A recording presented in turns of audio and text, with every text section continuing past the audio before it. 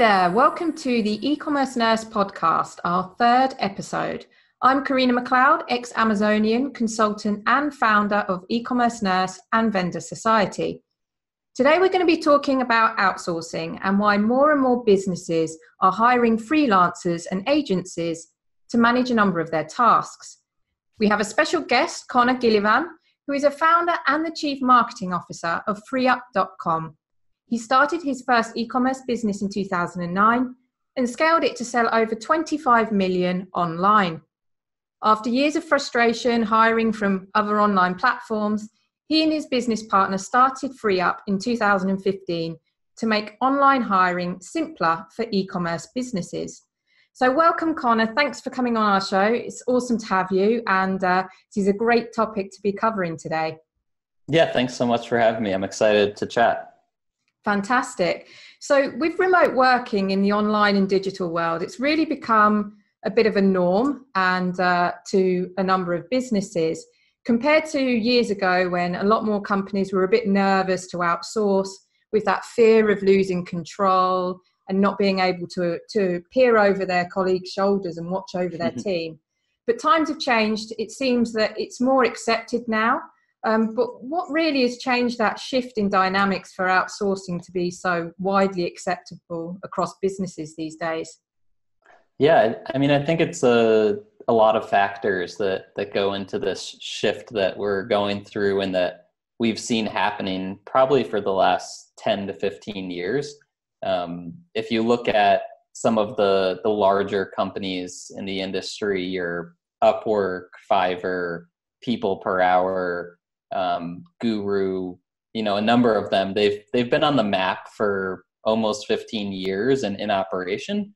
Um, so they've been slowly accelerating the comfortability that business owners have with hiring people remotely. If you if you think before those platforms, there wasn't as easy of ways to find and work with people remotely it was a lot much more of a trust factor or you were going through a larger business process outsourcing agency in a country like India or the Philippines. Um, but that was, I think, more reserved for larger corporations that had large budgets and, and were really looking to hire people as teams and in larger quantities. Um, so, you know, that, that one, the one thing is there's now websites and platforms where anyone, any business owner, any entrepreneur can go, they can create an account and they can look for people or post jobs for freelancers that have specific skill sets that they're looking for to help their business. Um, so I, I, think that's one of the the first big things, and all of that kind of comes around just to there's a large movement going on now as well globally where people professionals they're they're interested in in work relationships that are outside of the normal nine to five full-time employee situation. Um, maybe they want more time to spend with their family or more freedom to travel or just more time to do things in their personal life that doesn't require the traveling to work every day sitting in an office um, and, and, kind of going through that regular uh, routine um, and they want more of the remote lifestyle where they work with multiple clients they kind of dictate their own schedule uh, and, and in effect they kind of dictate their own income as well. So i would say some of those are, are some of the factors but um, there's a lot out there that's moving this industry along and, and pushing people towards the, the freelance world. Yeah, and that's that's an interesting point that you've made in terms of lifestyle because um, we definitely see that um, uh, even among our team. And I think there's a there's sometimes the assumption when you're outsourcing that you might might be outsourcing overseas, but it isn't hmm. just that. You can outsource, I guess, within your own country. It's just more not having someone specifically positioned in your office.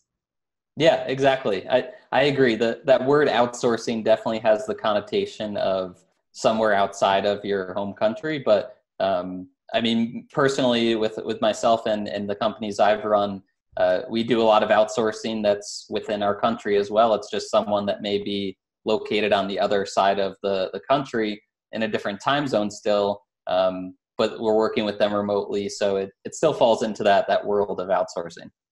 Yeah, yeah, definitely.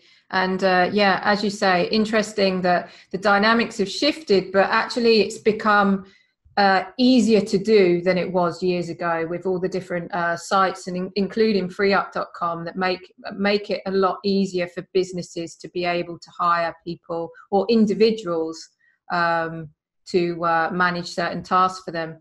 I guess when when it comes to outsourcing, some there are people out there that are still nervous and uh, that they think that there's an element of risk, but are not really sure what that is.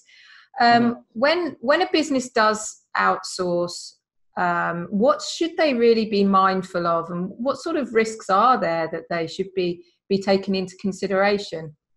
Yeah, great question. Um, I think there's always a risk when you're hiring anyone for your business. Um, when it comes to outsourcing and working with someone remotely, there's there's kind of three main things I would say um, that that are risks that you may run into, and you'll need to kind of figure out your own solutions for as you're running your business. Um, the the first would just be the the work of actually pre-vetting and, and interviewing people that are interested in working with you in a, a remote situation. Um, you, you want to treat it as if you're hiring someone full time in house. Uh, you know, where you would you know look at their references, make sure you're going through their past experiences, give them test projects or hypothetical situations so you can understand their actual knowledge of the area that you're looking to hire them in. Um, there's definitely a risk there when business owners don't take that process up front as seriously it, it can lead to them hiring someone maybe solely based off of the uh, the dollar amount that they think they could be saving um, and then it just doesn't work out over time or they they just don't look into the person's skills enough um, and it's not a great fit over the long run. So i would say that's one of the first things is up front how are you pre-vetting? How are you interviewing? Um, are you making sure that they're actually a right fit for your business? Um, or are you just hiring because it's more affordable um, and, and, it it seems like it could be a good fit yeah that's an interesting point when you talk about affordability because i think sometimes i know when we've spoken to uh, different people and different businesses that outsource that sometimes it can be a bit fix, too fixated on the dollar amount oh well that person is x amount cheaper but and going based on price and then sort of disappointed with the results because they didn't necessarily go through that process. Yeah, and it's I think it's a mistake most business owners have to make themselves. Uh, I personally did it when uh, when my business partner and I were running our Amazon business, and we first started learning about outsourcing. Um, it, it's exciting and tempting to see that you can hire someone uh, for a lower rate overseas outside of your country and really save that amount on someone you'd be hiring in your own country. Um, but if you just focus on the dollar amount, I can say from experience, it, it really doesn't work out. You need to look for, you know, the the price, but also that person's um, experience, that person's attitude, um, and and how they communicate with you, and how they've worked with past clients as well. Yeah, definitely, definitely. And, in terms of then the vetting, um, you mentioned about tr- test projects and stuff. I guess when it comes to you know, if you're hiring someone and they're coming to the office and you get to see them face to face, sort of vetting them is very different. Like in a face to face interview, you get you get that initial handshake or mm-hmm. you even get to see the body language which can sometimes tell you quite a bit about about a person um, mm-hmm. Are there any best practices that you would uh, recommend when it comes to that vetting, sort of interviewing process with freelancers? Yeah, definitely. Um, so if if you are someone that that really um, you kind of makes your your judgment on someone off of that live interaction, I definitely encourage people to use Zoom, um, and and you can do video meetings with people anywhere in the world, um, and so you'll be able to kind of get that experience of being in person with them um, through through a video chat. It won't be exactly the same as if you were sitting across the room from them, um, but it, it kind of creates that same experience. So you can you can actually see them, you can hear them, you can see how they're reacting to questions and what their body language is. Um, so I would definitely encourage that. And then my other thing would just be to take it slow as you're getting started with it. So maybe you do one video meeting, and if you feel good about it, don't just jump right to hiring. Uh, maybe you have a, a second follow up one where you're focusing on something different and you're just getting to know them a little bit better. Um, and, and maybe even you do a couple phone calls if, if you prefer that over video. Uh, there's a lot of different ways you can set up your interview process so it's it, it is really making them work to, to get that role with you um, and it's giving you enough time to learn about them and make sure that you're making a confident decision on who you're hiring yeah, that's a really good point, and I like the bit about the the video um, because actually we've had it where sometimes people aren't necessarily comfortable with video, and then if they're not mm. comfortable, then then there's a question of why. So it almost eliminates right. um, some candidates as well. Yeah, definitely. You can. We've used that before too, and like you said, some people just aren't. And I mean, for if that's that's an easy red flag for you, then if if that's a big part of how you want to communicate with them going forward and work with them, um, then that's easy. You know, you say, okay, that's that person's not going to be a fit, um, and you kind of keep going and, and waiting until you find someone that will jump on a video call with you, and you can create that kind of face-to-face rapport with. Yeah, and also I like the bit about you know it, there's no rush. Often when we look into outsource, and I know this comes from from uh, myself and my team as well, you always, mm-hmm. almost need someone yesterday and so right. there's this rush to hire someone. Um, but then sometimes if you rush and go too quick as you've said you can sometimes make a, an error with your hire or you jump and think oh that that video went went well. Let's let's mm-hmm. hire them. But i like what you're talk, mentioning as in there's you could stagger that out as well. Yeah. And and along with that too it, it's really important from what we found just doing this for years um, it's important to go into those initial, whether it's a video call or a phone call or a, a chat online, um, when you're doing that interview, it's really important to go in with your ideal candidates makeup or you know a list of exactly who you're looking for. Um, and you go through those things up front so that you, you make sure all the details are covered um, and you're not just you know hiring someone based off of a, a good conversation and a, a, good feel you had with them. Um, and I mean, that, that could be broken down into, hey, this person's on a different time zone. Would you be able to work this time zone? Um, this is the schedule we're looking for someone to work if it's important that they're on at the same time as you. Um, or we're looking for someone with the availability of 10 to 20 hours per week, um, you know, et cetera, et cetera, all these different little details. It's good to know those up front and, and make sure you go through them um, because if you don't, it's something you might forget, and then you hire them, and you realize a couple weeks into it that you just spent two weeks with them, and, and it's not going to work out in the long run. So getting those details up front is is super important and something I would encourage people to do.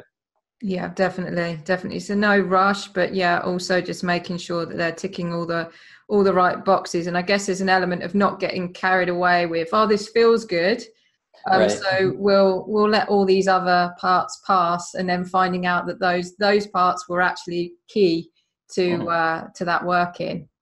And um, so we've spoken a bit, quite a bit about more, I guess, individuals and more freelancers. But then there's mm. also a number of um, businesses outsourcing to agencies, large mm. agencies, but also small or what we call boutique agencies. Now, sure. sometimes you get some stories. Some some businesses are a bit oh, I'm not sure I want to work with an agency anymore. They might have been oversold a service, um, mm-hmm.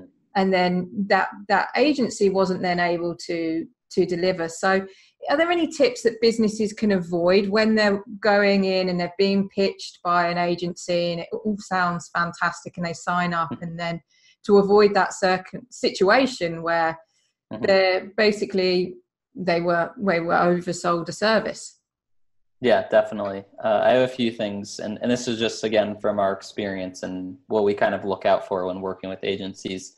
Um, for for us, we we usually only look to work with those, like you were saying, boutique agencies where we're actually still interacting with the owner of the business, and the the business owner is they don't necessarily have to be the one performing every part of the the service they're offering um, but they're there very much involved in the, the daily operations. Um, and, and they're someone that we can reach out to if we're having questions or having issues and, and want to kind of make some adjustments to the relationship.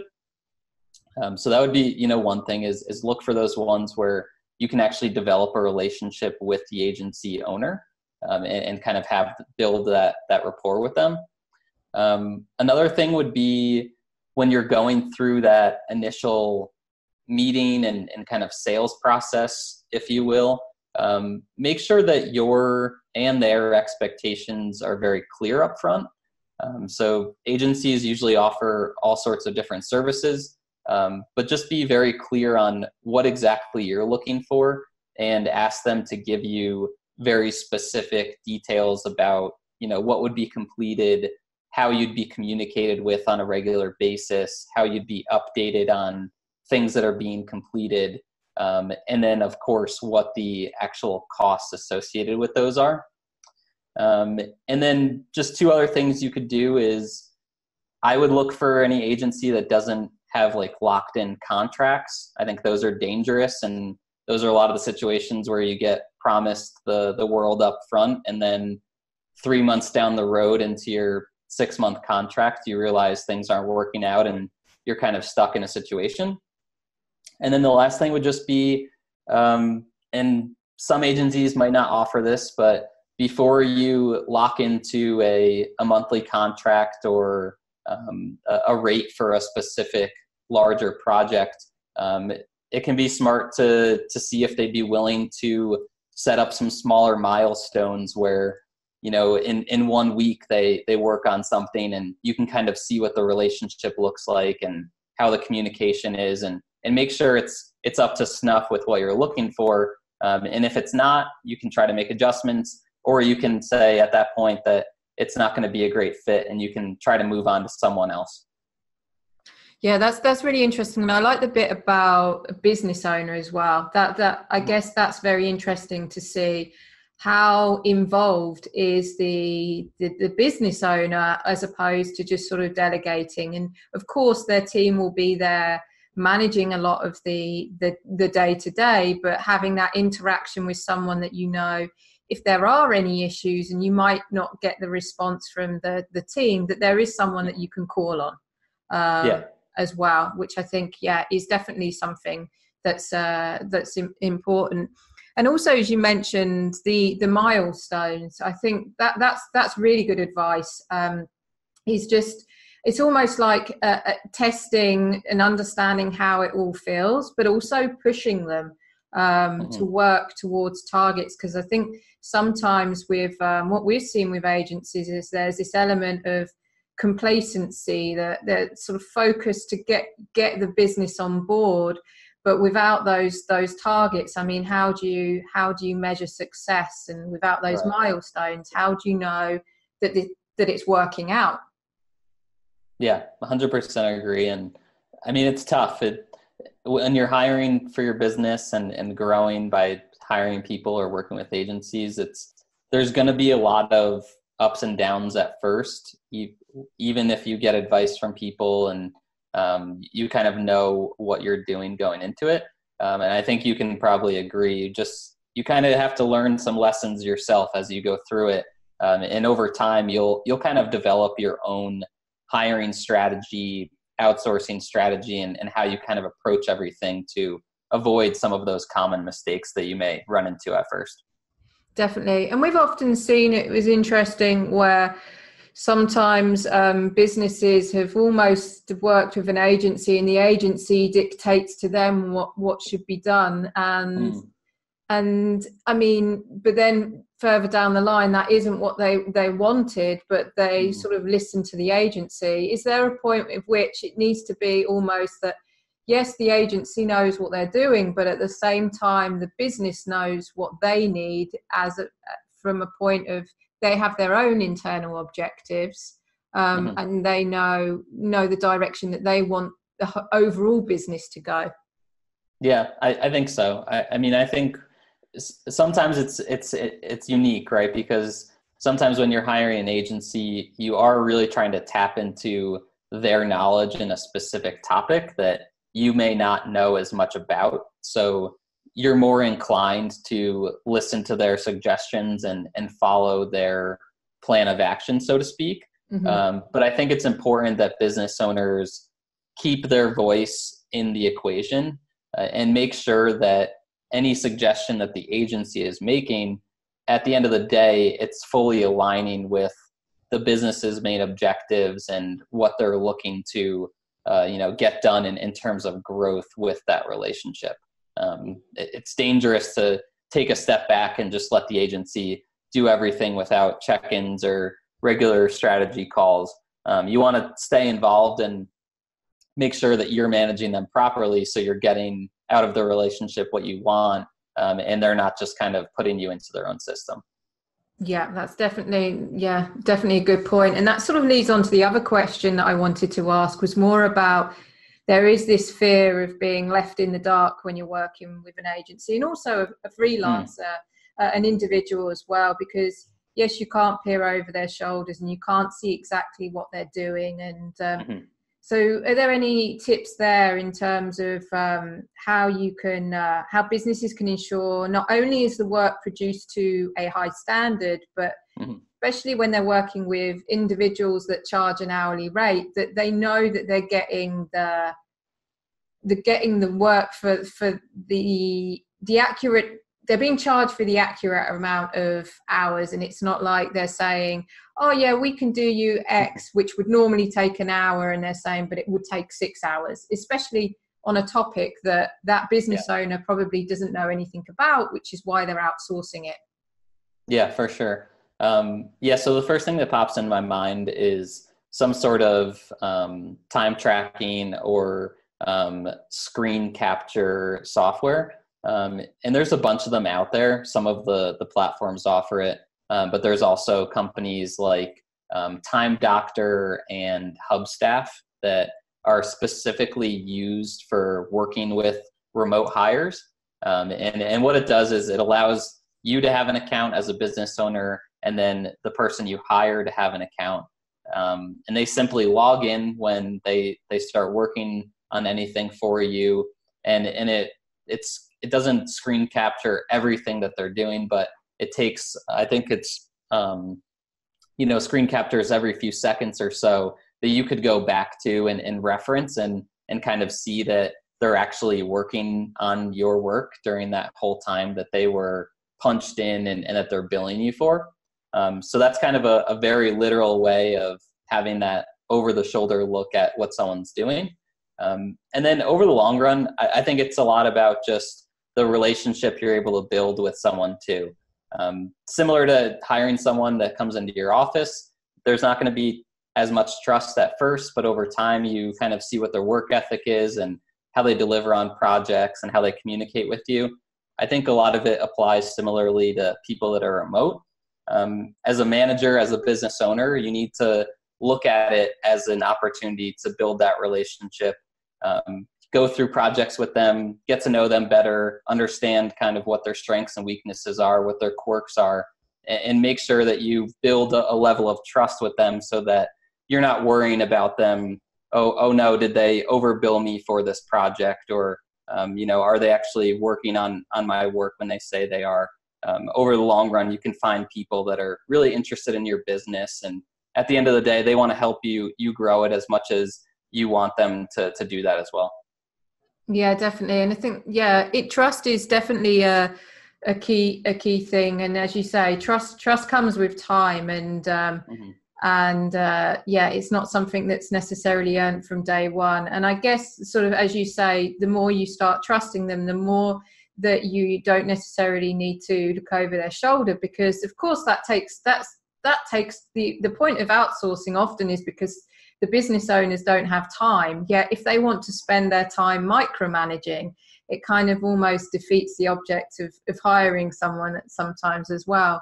And would you say, I mean, is there any hostility, or not hostility as such, but where people are being micromanaged in such a way where the business owner is sort of mm. wanting all these screenshots from a motivational point of view? Have you ever seen any uh, times when individuals have just sort of felt demotivated or just haven't wanted that sort of level of micromanaging? Yeah, I, have definitely seen it. Um, it. I would say it occurs um, pretty often as well, and you you want to be. It, it, I mean, it depends on what type of business owner you are. If that's kind of the way you you want to build that trust at first, um, you kind of have to do what you have to do. But I think a, a big way that you can make an effort towards it not just seeming like you're trying to watch over their shoulder and, and make sure they're spending all their time as um, high quality as possible is to you know like i said develop that relationship outside of them doing their work on a daily basis. Set up weekly meetings um, with them where you talk about strategy a bit more and and let them know about what the business is doing and how they're contributing and give them goals that they're working towards um, and then if you have multiple people that are remote run weekly meetings where everyone's involved and you're providing updates and kind of giving them motivation on the business and, and where it's headed and, and how they're helping achieve different milestones. I think when you expose someone to, to that higher level vision of the business at, as opposed to just focusing on the micromanaging of their daily work, it, gives them more inspiration to, to what they're doing. And then they kind of just see the screenshots or the, the communication on a daily basis that's being required as as a part of communication that that's required to to work with that business owner yeah and i really like that about sort of showing the bigger picture because there's there's trust comes in in both both sides as well and to really get somebody also to be really invested in the business they've got to really have passion for that company or feel an element of of loyalty um, and I guess that comes, as you say, when they start feeling inspired or start feeling part of the team, because mm-hmm. that business owner is starting to share more the company vision so they can see where they fit in with that, as opposed to just being somebody hired solely for output and being monitored solely solely on output as well that they become become part of a team no matter if they're sort of the other side of the the world or in another state but they're still a member of the team Mm. Great. Yeah, and as we yeah, and I mean, like we were saying earlier too, the whole world is just moving more towards freelance and working remotely with agencies. So the more you adapt your business to to catering to that, um, you know, it, the the better you're probably going to be in the long run as more and more people are looking for remote opportunities. Yeah, definitely. Because there's a point of where I think initially outsourcing was just more, okay, I'm going to outsource just this task and right. this needs to be completed by X time and then job done. But now, sort of through this discussion, it's uh, and I'm sort of thinking about it more and hearing about it more. Is there's hmm. almost mm. there's this long term. It's not necessarily outsourcing short term. There's outsourcing long term, and long term means being part of the team. Long term brings in loyalty as yeah. well. And so, actually, not only are the dynamics have the dynamics changed for short term, the odd task, but actually, people are building global teams, um, remote teams. Yeah, absolutely. 100% agree with you. Cool. Well, thank you ever so much for your time. Um, there's been some huge tips, uh, a number of tips along the way, which has fan- been fantastic. I guess um, before sort of signing off, really, um, mm-hmm. it would be great if we could summarize, or if you could summarize, what would be those three tips that you would give to someone that's new to outsourcing and working with either freelancers or agencies? Yeah, of course. So the first one would be kind of as you're starting to think about it uh, and, and kind of visualize how it could be a, a good thing for your business. I, I usually like to look at it in two ways, right? So as a business owner, you're always limited in, in terms of time. So the way to look at outsourcing as as being a value to you and your business is look at those areas or those tasks within your business that are very repetitive that you're still doing on a daily basis where you should really be spending your time elsewhere trying to grow trying to strategize. Um, th- those those one-off tasks that are just very repetitive on a daily basis are great ones that could be outsourced to someone um, usually at a more affordable rate than what your hourly rate is um, and that that can really help to automate your business a bit more. And then the second one is if you have something on the strategy of your business in terms of growth that you just don't know enough about. And it would take you let's say three to six months to really dive into and, and learn more about. That's another great area where you can outsource to like we were saying someone in your country or someone in a country nearby um, that is is kind of an expert in that area um, or even an, a boutique agency that accelerates in that area that could take that off your plate and allow you to stay focused on what you do best. Um, so those are you know those are kind of the two ways to to think about outsourcing. And then the other two tips would just be what one I said before was you know start slow. Don't don't kill yourself and, and try to hire a ton of people at the same time and um, you know struggle to get it all set up. Do one person at a time. Run it for a few weeks. Do some tests understand how it impacts your business um, and how you are going to manage it and, and what it does to the time that you need to manage things and then kind of go from there. And then the last thing is just make sure your communication expectations are set very clearly up front so that you don't ever have issues getting in touch with people or getting updates and understanding what people are doing for you remotely um, I think the the most horror stories I've heard from people that try outsourcing is is, is around communication. So the more you can do to set expectations up front, the better, and and the better off you'll be working with them in the long run as well. Great. That's that's those are some some awesome tips. And in fact, the whole I've found this whole uh, conversation uh, really really useful and invaluable because uh, within just our business we're we're hiring we're outsourcing. And so there's some really useful uh, nuggets of information there and tips on on the best way to hire. So as i said thank you so much connor for being an amazing guest today and sharing your years of experience when it comes to outsourcing. And i'm sure our listen listeners will be very pleased to uh, be able to listen to to all the information that you shared with us today yeah, of course. Thanks so much for having having me. And you know, if anyone listens and has any questions, I'm I'm also happy to hop on a call with them or exchange emails. Um, always always happy to to help people that are looking to get into outsourcing and and hiring and, and working with people remotely. Great. And would the best way to contact you be would be through FreeeUp.com? Yeah, exactly. So if, if you go on FreeeUp.com and it is with three E's, F R E E E U P.com, um, you'll see a, a, button at the top that says to schedule a meeting, and you can actually set up a, a phone call with myself or my business partner. Um, we, we put our calendars on there as a, a way to, to try to meet people that are interested in, in working with us. So they can do that, um, or they can just email me at connor at FreeeUp.com. Great. Thank you ever so much, Connor. Awesome. Thanks so much. Thanks. Bye. Cheers.